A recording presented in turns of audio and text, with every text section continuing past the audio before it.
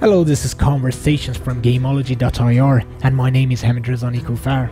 In this episode, we have a great conversation with Glauco Longhi, the character artist at Naughty Dog, working on the precious Uncharted 4 A Thief's End. I believe in the dictionary they should put his picture in front of the word artist, because he's the real deal in his profession. Just waiting for the music. Again, go. Yep. Now I have a confession to make here. I forgot to uncheck the stereo button while recording the call, so you can hear me on the left channel and Glauco on the right one. I fucked it up, I know, but you know, it's kinda cool. Uh, it's like a round table when you're at the center and you're listening to us. Nah, I take responsibility for that. But it's an amazing one. The level of coolness of this guy is sky high. So let's listen to this. Amazing how I sync myself with music.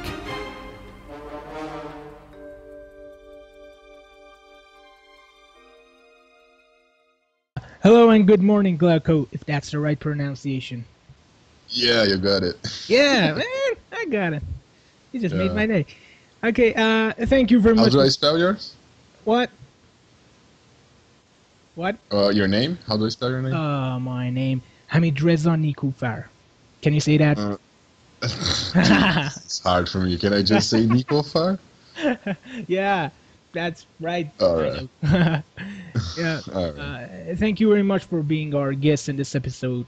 I think Oh, it was yeah, I think it was two weeks ago that I first about, heard about you, and I was curious who this guy is. So I searched a little bit about you, and man, you're an absolutely true artist.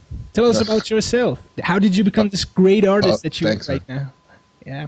Oh, thank you. I appreciate the kind words. Uh, well, I started my career when in 2006, Yeah. maybe almost 10 years ago. I was doing some video editing for Brazilian companies. I'm from Brazil and I was living there back then.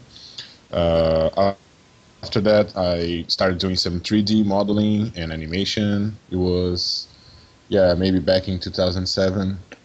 And then I, I went went to an Alex Oliver presentation, which is he's an awesome sculptor, like traditional sculptor and digital sculptor, and I got really excited about sculpting in general. And then I started doing some ZBrush modeling, Yeah. and then I realized that I needed to be good in traditional art to to become a better digital artist. So I started doing some traditional sculptures as well, and and then after that, I did a bunch of modeling, freelance modeling for abroad. And after a few years, I I was getting too much into traditional sculpture and traditional Yeah. stuff. So I opened my own studio back in Brazil. I was doing makeup effects, and almost, let's say, maybe 75% of all the work that I was doing was traditional work Yeah. but I was still doing some digital work uh, on my free time or some freelance.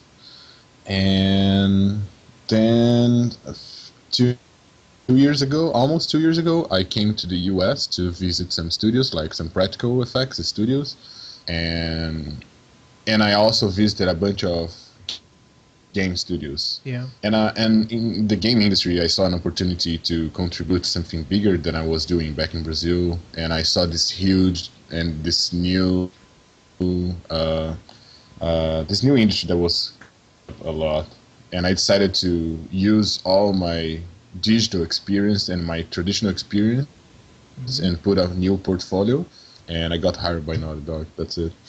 Wow. Amazing. Yeah. Yeah, So- it's it's not only that, but it's about ten years, so Yeah. it's yeah. It's a great journey. Now you're working Yeah, on uh. Uncharted 4 at Naughty Dog, man. Do you play Yeah. games often? Uh, yeah, Yeah, great. Yeah. Because you know, I, I've I been belie- playing games since I was a child. Wow, great. Because you know, I believe that no matter how much talented and skillful you are, if you're not passionate about video games, your work is not the same compared to your colleague who's crazy about video games. So, uh, so you do do you call Yeah. yourself a hardcore gamer then? No, no, no, no, not at all. Not Oh. at all. No, I I like to play like the new games that's coming up, and sometimes I play games to like beat them, but I'm not like the hugest like hardcore player ever because I can say that I'm an artist as I'm doing art all the time. So mostly of my free time and my spare time, I'm doing art or doing some exercising. So yeah, you gotta choose, man. You gotta uh, choose. It's yeah, yeah I know, I know. Now you do mind blowing sculpting. Is that help, helpful to create a character in computer? Is it easier to create something real and then convert it to something you know digital? Thanks. Uh, we have. Uh, I don't think it's easier or harder. It's just a different medium. So yeah. a lot of digital artists has have they, they have a really hard time going into traditional. But like I said, I started doing both almost at the same time. So for me, my approach is just a, uh, it's just a different medium. So I know the limitations of traditional, and I know the limitations of digital. Because on the digital, it seems to be everything seems to be easier, but for me, it's not. So I I cannot touch with my left hand. I'm just using my right hand, which sounds a little bit crazy, but for symmetry and this kind of stuff, it kind of avoids me. And the digital, since we have symmetry, everything is so perfect, and I have to think about breaking the symmetry. And in traditional, we don't have symmetry, so oh. I don't think too much about it. So it's just one example of like how digital and traditional translate each other. Uh-huh. Now, you know, uh, for me, sometimes interacting with real elements around me helps me understand what I do better. I'm a game designer, and, yeah. and I mostly work on uh, with Microsoft Word. But uh, sometimes mm-hmm. I just play with objects around me in order to, you know, understand the inner feeling of an idea for a game, and it's really yeah. helpful. Yeah. This is there's something special in touching stuff and you know observing them in different dimensions that cannot be done oh, with computer. And what you do, I think, is exactly the same. Do you see the reality, the nature, as the finest source of inspiration? Because you know, uh, some people believe yeah. that mankind's old interaction and relation to nature and the real world is a limit mm-hmm. for our imagination. That sometimes we have to forget what's around us in order to reach something, you know, abstract. I'm asking yeah. this because you also design creatures too. So repeating the question again: yeah. When do you use nature as an inspiration, and when do you run away from it? Uh, yeah, designing creatures is something that I I really enjoy because yeah. uh, how can I put that? So I, I want to design some crazy creatures, but what I really want to do is doing something believable that for I've been doing some crazy creatures design in the past, but I still want them to make to make them believable Mm-hmm. So nature is, is the key to, to make something believable because we have some really weird and crazy colors in nature and some weird patterns that we can translate and get these crazy yeah. shapes or creature design. So as far as we go with like shapes, we still have to maintain some believability to mm-hmm. it. So yeah, the, the challenging of creating something believable it's what drives me on the creature design aspect. Yeah. Which one do you uh, love most, working on a badass creature or a badass human being? Uh, I don't know, man. Sometimes, so nowadays I'm maybe because I'm working on Uncharted and everything is like realistic. Uh, I'm on this kind of phase of my life that I really enjoy studying anatomy and I have this passion of for human and animal anatomy. So nowadays I'm not doing too much creature work on my spare time. So, uh, but that was a few years ago I was just doing creature and was loving it. So I, I kind of bounced between one of other uh, one and another. So it, it's kind of hard to pick one. Yeah. Each each one has their own challenges. So yeah, I think yeah, I don't know. Uh, what is your uh, favorite creature in video games or uh, I don't know uh, films?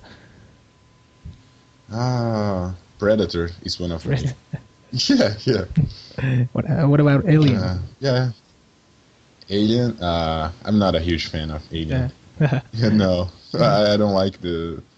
What about creatures in Last of Us?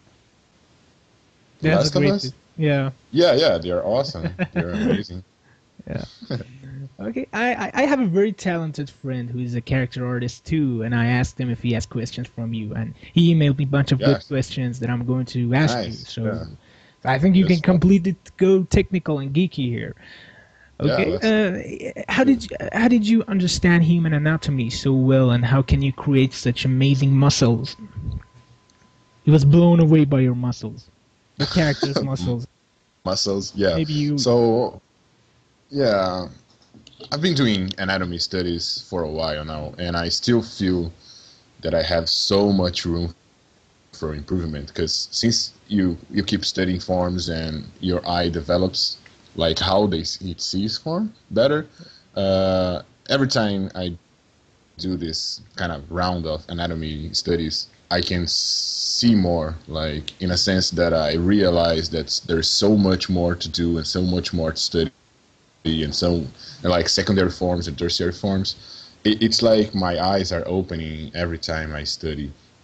So, uh, yeah, about muscles, it's it's it's kind of tricky, but the muscles is they are not the most important part when you're studying anatomy. Bones and bone structure should be the fir- first one, and all the muscles just have they have formed just because they are on top of the the bone structure, right? So, uh, I would say you sh- you gotta study, you gotta study hard, and you gotta keep studying. If there's not much more to do than study. Of course, your like first and second study will suck, but then after a while, you, you start getting the hang of it, Yeah. and focus on the bone structure first. Because if you see most of my studies, I show the bone structure under the muscles, even though like the skin and the muscle anatomy, it's kind of oh that drives people crazy. Oh, this is so cool, and the muscles and the fibers and everything. But I'm really much more concerned about uh, the bone structure first, and then I lay down some muscles, and then I kind of make the skin feeling. Yeah. Right. Now, uh, do you create your characters in ZBrush from the start? Uh, it depends. If I'm doing a study, yeah, I'll, I'll probably jump into ZBrush and create everything from scratch. But on production, uh, it depends. Sometimes I do use, I start in Maya or 3D Max, and sometimes I use a base mesh and go right away into ZBrush, and then, but using a base me- mesh with UVs, yeah, it kind of depends. Depends on the project, on the budget, and on what I'm actually doing. Yeah. Now, uh, how do you create such amazing wrinkles in the skin and fabrics? Uh, so in fabrics, it's kind of weird, but let, let me jump fabrics a little bit. Mhm. But in skin, it's the same. You gotta keep studying, and uh, I would say wrinkles and pores they are important, but not as much as the, the anatomy itself and like the primary and the secondary forms. They should be a third layer or just a layer on top of everything. People use they, they often like overdo pores and skins and, and wrinkles Yeah. so it kind of messed up everything they did before. Mm-hmm. So one tip is just be careful and make another layer, like a separate layer, if you're working in ZBrush, and make sure then when you turn it off and when you turn back it on, it don't it won't won't change as much as the silhouette or the overall feeling of the piece. It should be like another layer, Yeah. and should be it shouldn't so let, let's say that without pores and wrinkles, your sculpture should still look awesome, right? Uh, about folds and wrinkles in uh, clothing, uh, well, it's it's another topic that you gotta study hard. This is one of my weakest part, Yeah. I guess. I haven't studied and haven't done many of these in a while, so every time I I, I have to do it, I have a little bit, but it it as everything else, you gotta keep studying. And uh, there are some videos and some really good books about uh, folds and drapery. Yeah. So there is some kind of anatomy in the drapery itself. So there is a few shape recognition that you can do when you see, like um, where the knee bends. It will almost every time happen to to have the same type of wrinkles. So you can start like understanding how they they Yeah. work. So, uh, if you want to be a great 3D character artist, should you be a great drawing? Uh, should you be great at drawing characters on paper too? No, definitely no. No. Uh, so, of course, everything that you do related to art will help. So, if you are a good photographer, it will help. If you are a good drawing draftsman, it will help. But Yeah. I, I wouldn't say that it's. So, most of my friends that are really good character artists, they are not good like concept artists, or they are not. They don't draw that well. And myself, I, I keep drawing from time to time, trying to improve it because I think this is really helps how we train your eyes to see shapes. But I don't think this is something necessary. They, if you if you want to do 3D art, just do 3D art. art. It's it's not like oh you gotta do this to achieve that. But of course, if you have the time and you are willing to spend and become like a master in the long, long journey, it, it will help a lot. And yeah, I wouldn't say don't do it, but you, you don't need to do it, right? Yeah, that's a relief for a lot of people, I think. Uh, have you ever Yeah. had this repulsive feeling toward a part of a human body that it forced you to say, "Oh man, I hate working on human ears," for example? Is there a hate zone for a particular Mm. part of human's body that you're not happy to work on? So I I wouldn't say that I hate it, but something that I I was really struggling in the past was the hips and how the muscles kind of attached to the hip and how the legs we have this space between uh, the, the aces and and the start of the leg itself and I was I was struggling with it a little bit and then I decided to kind of study it more and now I really enjoy doing and working on this area. So uh, I think hate hating something it's kind of too much, right? So since you're not you- you're not you're comfortable with it, you know. yeah, if you're not comfortable, like like I said, I wasn't comfortable with it. So you just gotta study it more. Maybe maybe you're not comfortable because you haven't studied it enough, or you don't pay attention it enough to kind of. So maybe you lack information there. Yeah. So yeah, just just jump into it and do some quick studies and some long studies, and I'm sure you're gonna understand it, it won't be like that anymore. Yeah. Uh, how long normally does it take to create a character? Mm. Yeah, this is a tricky one. Mhm. Uh, it depends if you're are saying about cinematic or game model characters. They depend. They vary a lot. Uh, an estimation about a head from from scratch to finish for like a cinematic or a game, just the head without hair. I would say one week to two weeks, maybe three weeks, depending on the character that are that I'm working on. But it can take less. It can take like just three days. So it, it will vary a lot. It depends on the feedback on and the subject. If I'm starting with, with a scan or if I'm starting from scratch. So it, it really depends. It can take a full character. It can two months to uh, three, four months. Wow. It can take one month if I'm reusing a lot of stuff. So, yeah, this is a really tricky one. I, I, I don't think you should be too much concerned about it. Just do your best and don't don't be concerned about how much time you're spending on it. Yeah. So, uh, which one do you love most, working on a video game or animations? Please, video games.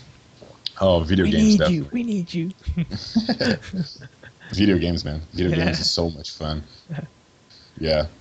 Uh, great. Now, how's it working on Naughty Dog on Uncharted, Uncharted 4? Were you a Naughty Dog fan before joining them? Oh yeah, yeah. So when I put up my portfolio, I was focused on doing art and achieving this Naughty Dog uh, style because I wanted to work there. It was was my priority, and my first goal was to get there. And I'm really glad I couldn't get it. I, I could get it, but uh, oh, it's it's really awesome. It's amazing. Is it People stressful? that work there.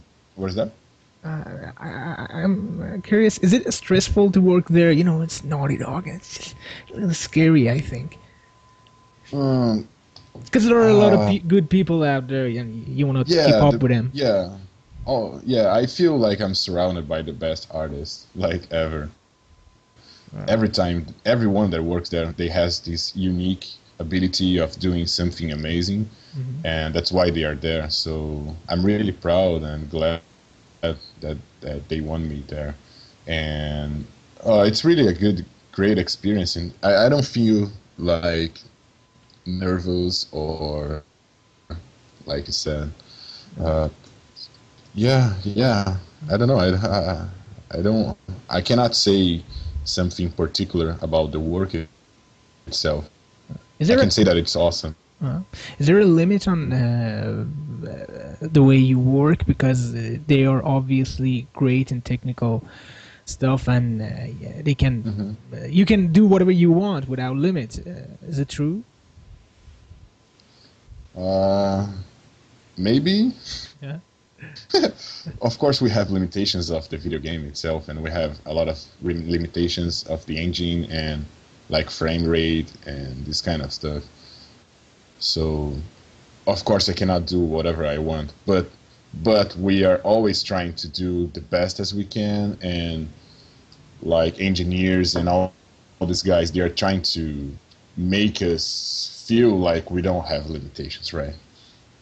Yeah. Yeah.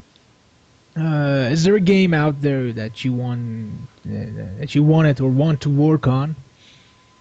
Hmm. Uh, mm, I don't know. You know, you know what I think would be a Uh, great project for you to work on? Yeah, Max Payne 3. Now, you tell me why. Max Payne. Yeah. Max Payne 3. Ah, I, is it out? Yeah, it's out. Yeah. Damn, I missed. I missed this one. the games happen in Sao Paulo. I think you're from Sao Paulo. Is that right? Yeah, yeah, I'm from Yeah. That's São Paulo. Yeah. oh, yeah, that's true. I remember seeing some some videos. It came out maybe one year and a half ago. Yeah, right? exactly. Yeah, I remember seeing this one. Uh, yeah. Yeah, I don't know. I don't know. I, wouldn't think I would enjoy working on this one. Maybe doing some characters, but yeah, yeah. I think I would have more fun playing this one than Uh-huh. Working on this one. Uh, uh, this year's E3 was amazing. What games are Yeah. you most exi- excited about? uh, I- I'm really excited about Uncharted 4, man. Ah, true. Me I too. want to play this game. Yeah. you play Uh, that other game while in... Yeah, yeah, yeah. I'm just kidding. Is it Uh, good? Yeah, it's really Should I fun. buy this game? It's really fun. There's this Drake guy, and he's like, like killing some guy. Uh, the graphic is uh, E3 was awesome. amazing. It was this one. E3 was really cool. It was my first E3 like live that I was actually there, and uh, I don't know. I don't know. I'm not really looking forward to any specific game. I saw a bunch of really cool games there, but uh, yeah, I'm really looking forward for next week for uh, Metal Gear. I really want to play this game. I'm a, hu- I'm a huge fan of the series, and this is a, the only one that I have in mind, Metal Gear, right now, Yeah. that I'm really excited about. Me too, man. Can't wait for that. So, uh, okay, that's it. We're done. Glauco, thank you so much. You're such a great and inspiring guy, and Yeah, I man. wish you the best on your career and your Oh, life. I 'cause wish- you're the best. Thank you, man. You guys are awesome, and I really appreciate the time. And Thank you. yeah, feel free to drop me questions anytime and count me in. I'm always willing to help, help and glad to be able to be in this position right now that I can Sure. inspire and and really help be- people. Yeah, uh, we needed it. You know, uh, we have a lot of. Uh, we would have a lot of podcasts with game designers and uh, I don't know level designers, uh, and uh, this I, I think uh, there are a, there are a lot of questions for uh, other people's on uh, character artists uh, who Yeah. want to be a character artist, and uh, you help them a lot. I, I mean, I'm I'm not into this uh, uh, job. Yeah, yeah, I know. I It's know. great. Yeah. Mhm. Thank you so much, man. Awesome. Thank you, Yeah. man. Catch you later. Goodbye. Yeah. Bye.